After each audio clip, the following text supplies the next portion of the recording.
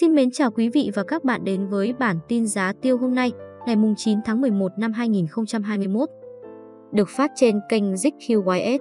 Lời đầu tiên về bản tin giá tiêu, ngày 9 tháng 11 năm 2021 hôm nay. Rick Hughes muốn gửi cho quý vị và các bạn cùng tham khảo một số tin tức đáng chú ý liên quan đến giá tiêu ngày hôm nay như sau. Sau khi chạm mốc 90.000 đồng 1 kg, thị trường hồ tiêu trong nước chứng kiến các đại lý đẩy mạnh bán tháo hàng hóa để thu lời. Đà suy giảm của giá tiêu còn được lý giải bởi nguyên nhân nền kinh tế lớn nhất châu Á, cũng là thị trường quan trọng của hồ tiêu Việt Nam đang giảm tốc vì Covid-19. Dựa trên giá một số mặt hàng trọng yếu và giá giao dịch tàu biển suy sụp cho thấy, đà tăng trưởng kinh tế tại Trung Quốc đang chậm lại. Do đó, sức mua cuối năm của thị trường này sẽ không mạnh như mọi năm. Ghi nhận thực tế, hiện lượng hàng mà thương lái Trung Quốc mua mới chỉ bằng 3 phần 4 so với mọi năm. Do đó, nếu thương lái Trung Quốc hạn chế sang mua để chuẩn bị cho dịp lễ Tết, giá tiêu sẽ vẫn tăng nhưng không quá mạnh, tối đa 100.000 đồng 1 kg. Ngược lại, nếu Trung Quốc tăng cường đơn hàng, giá tiêu thậm chí vượt mốc quan trọng 100.000 đồng trên kg. Do đó, sự suy giảm từ thị trường Trung Quốc thời gian qua cũng là một phần nguyên nhân khiến giới đầu cơ muốn chốt lời nhanh ngay khi chạm mốc 90.000 đồng 1 kg. Theo các cơ quan quản lý và chuyên gia đều nhận định, giá hạt tiêu toàn cầu sẽ tiếp tục tăng trong thời gian tới do nguồn cung khan hiếm và nhu cầu tăng cao vào dịp cuối năm. Theo như báo cáo giá tiêu của các tỉnh thành gửi lên cho biết, giá thu mua hồ tiêu trên cả nước ngày hôm nay ghi nhận đồng loạt tăng nhẹ 500 đồng 1 kg so với ngày hôm qua và đang giao dịch ở mức 85.000 đồng 1 kg cho đến 87.500 đồng 1 kg. Cụ thể về bảng giá thu mua hồ tiêu trên toàn quốc ngày hôm nay như sau. Tại tỉnh Đắk Lắk, thu mua với giá 86.000 đồng 1 kg, ghi nhận tăng 500 đồng 1 kg so với ngày hôm qua. Còn về tỉnh Gia Lai, giá thu mua ngày hôm nay leo lên mức 85.500 đồng 1 kg, cũng ghi nhận tăng 500 đồng 1 kg so với ngày hôm qua. Đối với tỉnh Đắk Nông, được ghi nhận ở mức 85.500 đồng 1 kg, ghi nhận tăng 500 đồng 1 kg so với ngày hôm qua. Còn về giá thu mua hạt tiêu tại Bà Rịa Vũng Tàu ngày hôm nay, được ghi nhận là 87.000 đồng 1 kg, ghi nhận tăng 500 đồng 1 kg so với ngày hôm qua. Nhưng với mức giá này, thì Bà Rịa Vũng Tàu vẫn là tỉnh dẫn đầu giá thu mua hạt tiêu cao nhất của cả nước hiện nay. Bên cạnh đó, Bình Phước đang tiếp tục ổn định với giá thu mua hạt tiêu hiện nay neo tại mức 86.000 đồng 1 kg, cũng ghi nhận tăng 500 đồng 1 kg so với ngày hôm qua. Cuối cùng là tỉnh Đồng Nai, tiếp tục giữ giá thu mua thấp nhất của cả nước là 84.500 đồng 1 kg, cũng ghi nhận tăng 500 đồng 1 kg nếu đem so với ngày hôm qua. Hiện nay, hạt tiêu đen là một mặt hàng được tiêu thụ nhiều trong lĩnh vực sản xuất thực phẩm và làm đẹp, được chế biến thành gia vị và chiết xuất thành tinh dầu. Ngoài ra, hạt tiêu đen còn được sử dụng trong lĩnh vực y học do chứa nhiều chất chống oxy hóa, giúp chữa đau dây thần kinh, nhiễm trùng dạ dày, viêm phế quản và bệnh bạch biến, vân vân. Thời gian qua, giá thu mua hồ tiêu không đồng nhất tại các địa phương, thậm chí các đại lý trong cùng địa phương. Có đại lý thu gom mức cao, có đại lý tỏ ra thờ ơ. Bởi những nơi thiếu hàng, buộc phải thu gom ở mức cao, nơi mua đầu cơ thì ghim giá. Lâu nay giá hồ tiêu vẫn luôn là một cuộc đấu trí giữa bên mua và bên bán. Trước sức mua lớn vào, để đáp ứng nhu cầu cuối năm ngày càng cao, cùng lượng cung xuất khẩu của nước ta không còn nhiều, nên các chuyên gia tự tin giá tiêu trong nước sẽ phá mốc 95 triệu đồng tấn trong thời gian tới.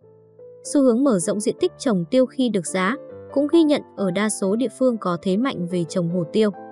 Tuy nhiên, theo khuyến cáo của ngành nông nghiệp, người dân không nên cứ thấy giá tiêu tăng cao, có lãi là ổ ạt trồng.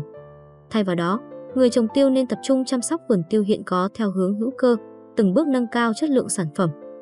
Như vậy, có thể thấy nguồn cung không còn nhiều, dù Việt Nam gia tăng nhập khẩu tiêu từ các nước, nhưng cũng chỉ chiếm 10% so với xuất khẩu.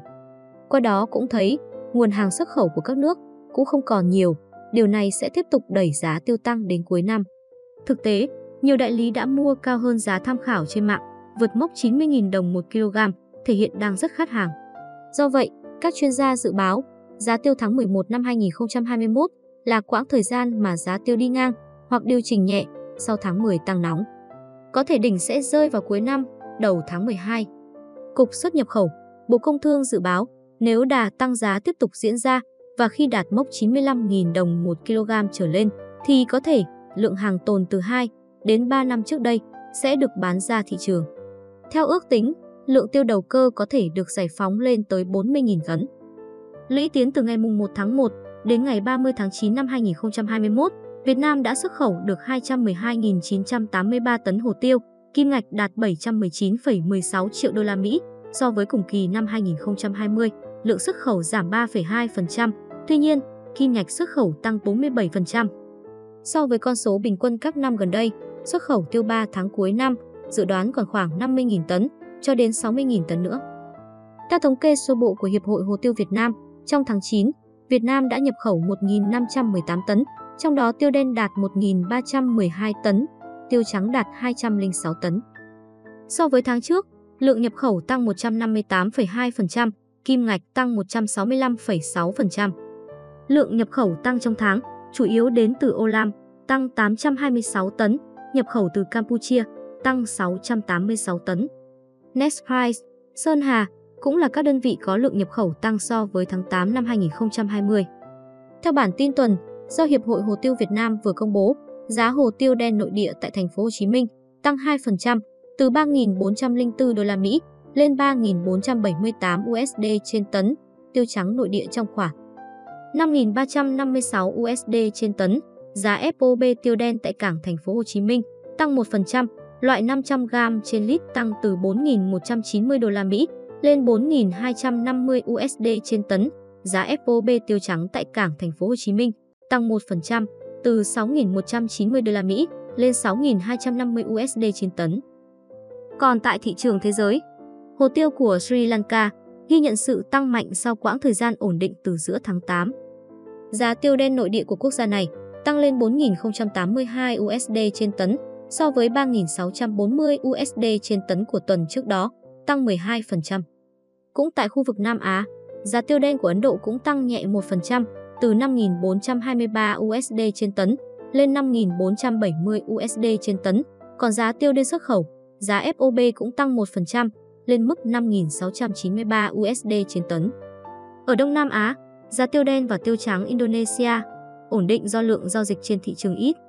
Tiêu đen nội địa của quốc gia này trong khoảng 3.673 USD trên tấn cho đến 3.685 USD trên tấn, tiêu trắng nội địa 6.226 USD trên tấn cho đến 6.246 USD trên tấn, giá FOB tiêu đen dao động 4.358 USD trên tấn cho đến 4.371 USD trên tấn, giá FOB tiêu trắng 7.174 USD trên tấn cho đến 7.197 USD trên tấn.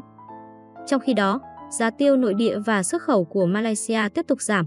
Cụ thể, tiêu đen nội địa của quốc gia này giảm 4%, từ 4.827 USD trên tấn xuống 4.615 USD trên tấn.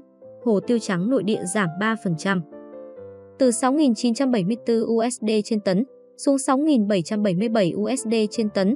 Giá FOB tiêu đen giữ nguyên trong khoảng 5.972 USD trên tấn cho đến 5.982 USD trên tấn, trong khi giá FOB tiêu trắng giảm 1% xuống 8.126 USD trên tấn.